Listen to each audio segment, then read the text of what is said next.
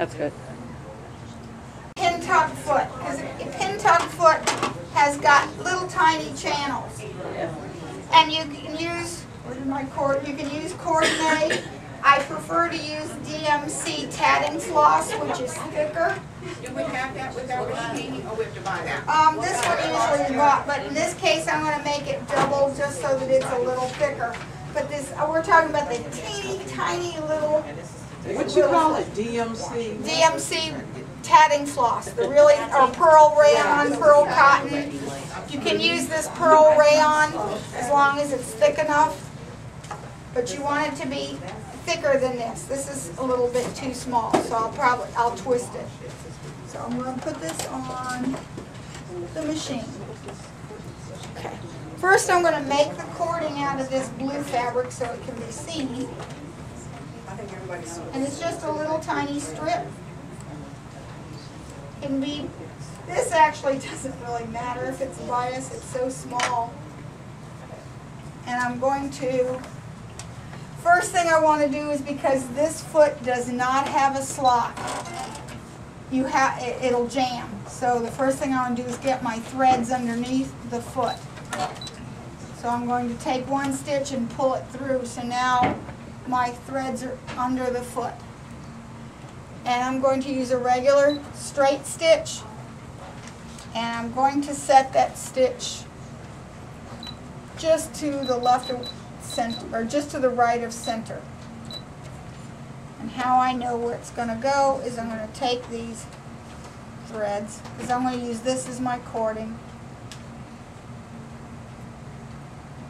In the center, just like we did on the embroidery uh, on the uh, serger.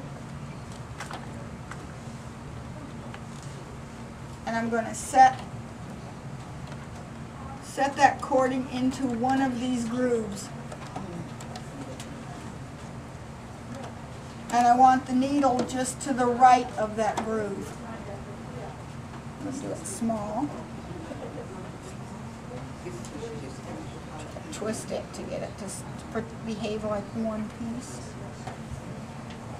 We learned this at one of the Ricky Tims seminars, his super seminar that we did, and I, um, ha- I have it on the uh, uh, quilt out in, on the floor that shows the teeny tiny piping.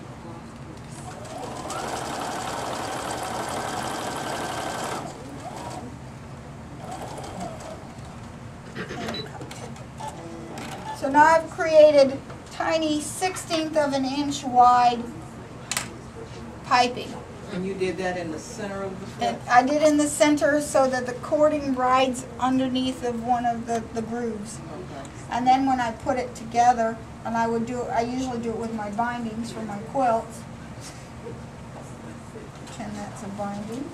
And then I'm going to lay that groove, of that cording in the same groove that it was in. I like to use the center one. You can use any of the grooves, but I like the center one just because I can see it, in the center. And now when I run this into that groove again,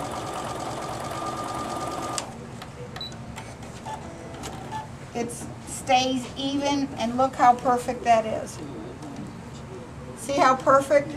It's very difficult to get, if, if you miss on something this small by even one thread, you can really see it.